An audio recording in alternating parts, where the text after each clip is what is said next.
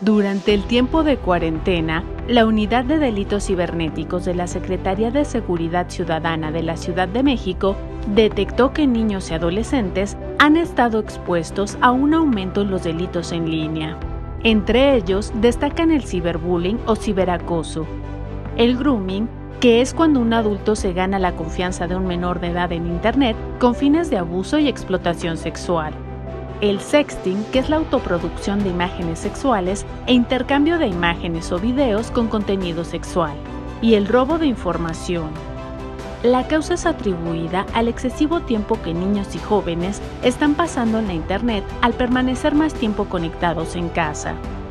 En el caso de la pornografía infantil, el consumo y su búsqueda se incrementó en 73% durante la contingencia sanitaria por la COVID-19 según informó la Dirección Científica de la Guardia Nacional de México. En el negocio del abuso y explotación infantil, México ocupa el primer lugar en la difusión de pornografía infantil en el mundo,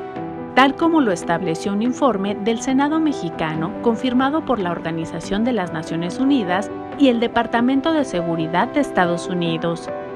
La industria del crimen organizado ha dejado al menos 5 millones de niñas y niños quienes son víctimas de pornografía infantil y turismo sexual en el país. Según informó el 22 de septiembre de 2020 la Comisión de los Derechos de la Niñez y de la Adolescencia.